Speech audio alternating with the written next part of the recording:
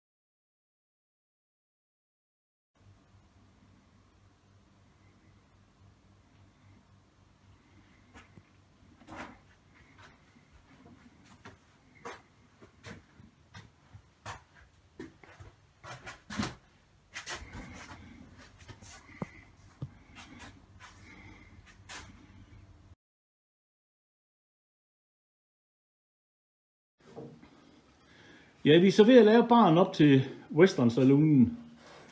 Så der går lige nogle timer med det. Så derhen. Ja. Det der, det tror jeg ikke, det bliver bedre. Og du står bare der og bedler, var hun? Du troede, du skulle have noget. Hvad skal du, siger du? Flammer her. Klammer, okay.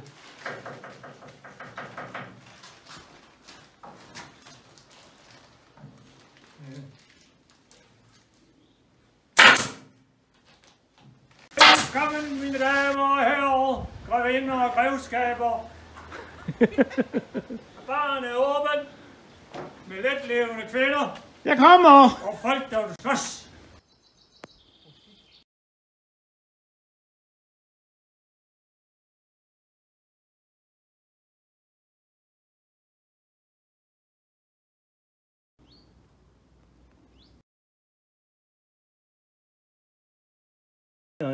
Ja.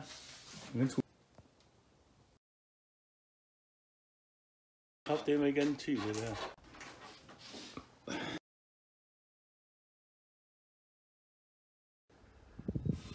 Stien først.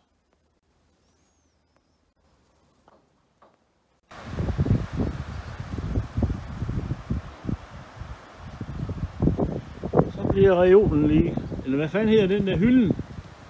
Hylden lige malet. Hvad sker der? Det var bare uret, der ringede.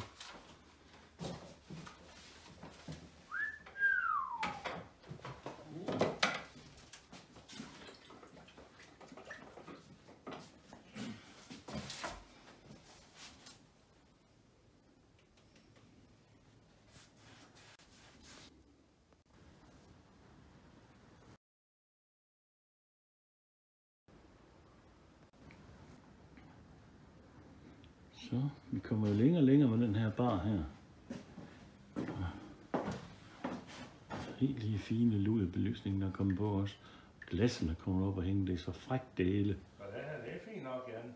Tror ikke, det er godt nok?